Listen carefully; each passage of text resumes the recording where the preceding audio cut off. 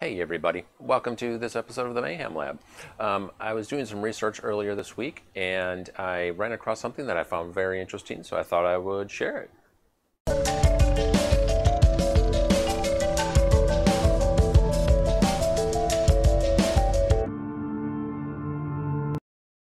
Okay, so doing some some research and playing with RFID tags and things, um, always very interesting. But uh, I ran across something very peculiar.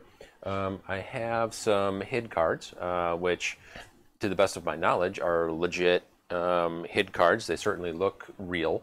Um, I've seen fake uh, equipment before, and this feels uh, very real. Um, the embossing and everything looks correct so to my understanding, this is a, a, legit card. Honestly, I don't know, I don't remember where I got this one from.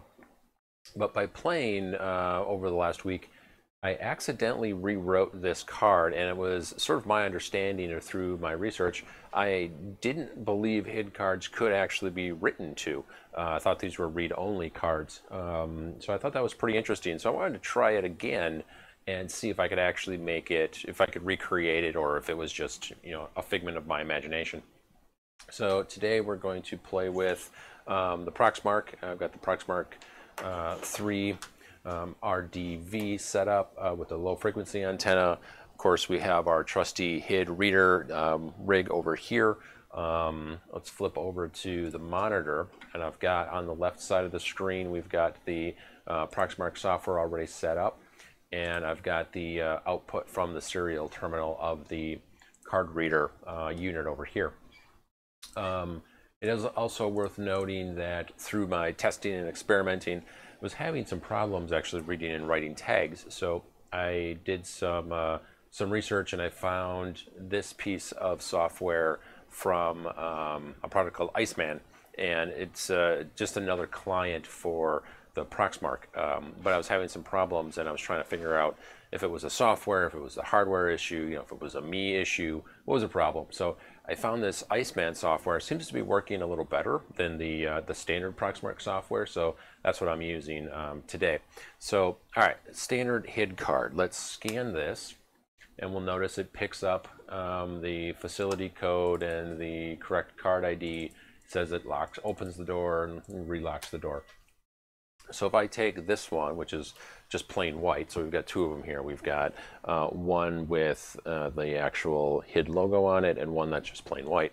The plain white one should not uh, unlock the door. There we go.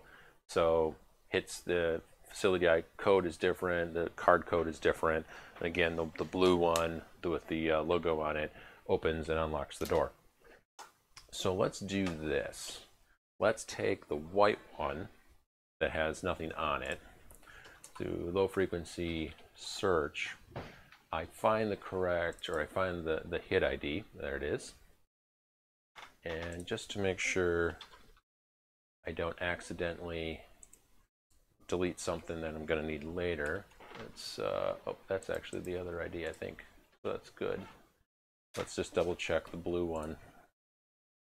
Low frequency search. Um, 200, yep, so this is with logo. And we'll call this one without logo. All right, so that way we, we've got a, we got a copy, got a record. Okay, cool. So um, again, let's scan the white one that we see up there. Okay, so there is the ID. Let's rescan the one with the logo. There it is. So let's do low frequency HID clone and we'll pop the different ID in there, right? So I'm actually writing to um, the blue HID card now. See, it wasn't a figment of my imagination. I actually could do it. So now I have the blue card, which we saw just a moment ago, had the um, the other code on it, which had facility code 131. This should now have facility code 26. Um, and oh, can't read it. There we go the reader, the software on the reader is still a little bit uh, under development. But all right, so that actually did work. Um, so it's kind of interesting because I always thought these cards were read-only, um, but apparently, apparently not. So let's see if we can put the correct code on the uh, the card without without a logo on it. basically flip them.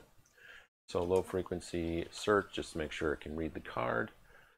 It sees it, that's fine. Low frequency hid, whoops, hid clone. And let's grab that with logo. That's correct one that should unlock the door. That nasty space. So that one did not rewrite. Okay. Interesting. So this one refuses to rewrite itself, which is the the clear, uh, the one with with no logo. Um, let's rewrite the blue one, or I'm calling it the blue one, the one with the hidden logo on it, back to the correct code to open the door. So that's pretty interesting. Um, I do not know exactly where I received this card. Uh, it certainly looks legit to me. Um, you know, we could certainly dissect it. I don't know what we'd really find out versus, you know, since the, the chips are so small. Um, but it leads me to believe that this is somehow a fake or a, a clone, uh, that it's actually got a T5577 chip in it because I can actually rewrite it um, which I find very interesting. So this one I bought from a reputable dealer, um, pretty positive um, that this is a legitimate HID card, and it looks like that is true. Uh, I am not able to write to the HID card, so that um, would be correct. So yeah, I'm not able to write to it. But boy, um, if you if you examine these, they look um, pretty much identical as far as uh, thickness goes, um, texture, feel. They they look perfectly fine, and you know the numbers on the back and everything like that look great. So it's not like the traditional T5577 cards that I have that look more like a credit card. Um, they're much thinner. These are actually uh, thick like a standard HID card, like you'd expect. Um, so yeah, I found that very interesting. So I guess it was just me. Um, I apparently have a, a fake card uh, in my midst. But you know that's not a problem. Uh, I'm glad we figured it out.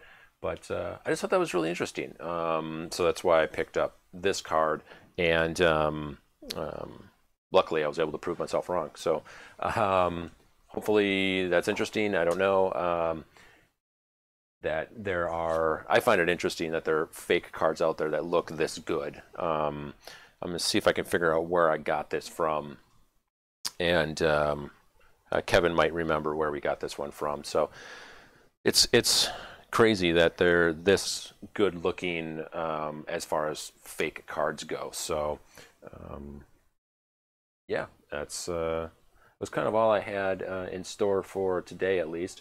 I'm still working on the power uh, issue for the HID card reader, uh, the door emulator. Uh, I also have some some new RFID chips in, which I'm hoping to play with a little bit later um, and we'll see how see how that goes. Uh, also have some new chips on order. Hopefully they'll show up uh, soon, but just like everything else, we're sort of waiting on um, the mail these days, which uh, you know it's kind of understandable. I know there's lots of uh, other priorities out there as far as mail, getting food to people, and things like that. So I'm certainly not in a hurry. Um, so when we get those get those chips, we'll certainly uh, play with those next. So um, thanks for thanks for watching, and um, I'll see you next time. So, Michael, what can people do if they liked this video? You know, it would be nice if they would subscribe, click the button, and leave a comment. That would be cool. That would be neat. Would we ignore them? No, I try to get back to everybody. Okay. Yeah.